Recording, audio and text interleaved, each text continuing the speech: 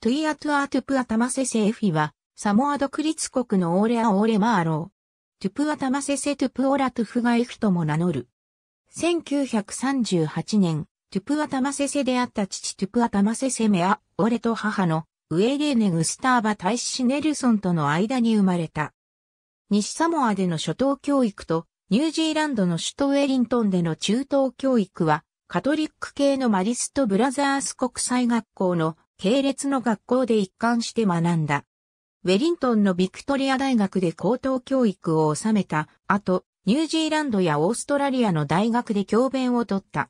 西サモアに帰国後も政治活動と並行して教育者としての活動に従事している。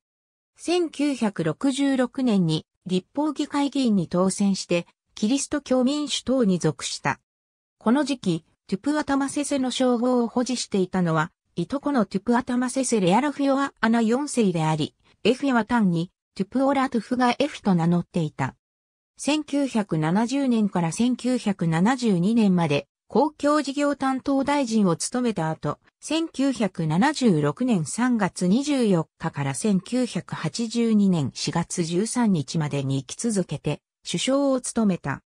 2期目の1981年に公務員の労働組合のストライキで行政機能の麻痺を招き、翌1982年の議会選挙で敗北して、それまでの野党であった人権擁護党に政権を譲って首相を辞職した。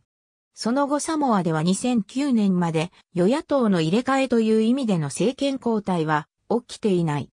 1983年のレアルフィオア・アナ4世の死により、トゥプアタマセセの称号を継承して、タマアイガとなった。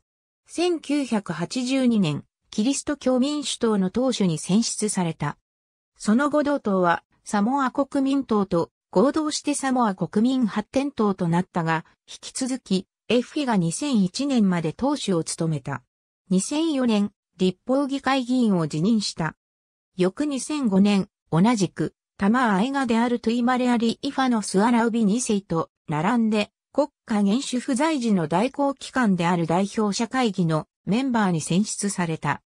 2007年5月11日、オレア・オーレ・マーローであるマリエト・アタヌマフィリ2世が死去すると、サモア独立後初めての選挙で選ばれた国家元首としてエフィが選出され、同年6月20日に就任した。ありがとうございます。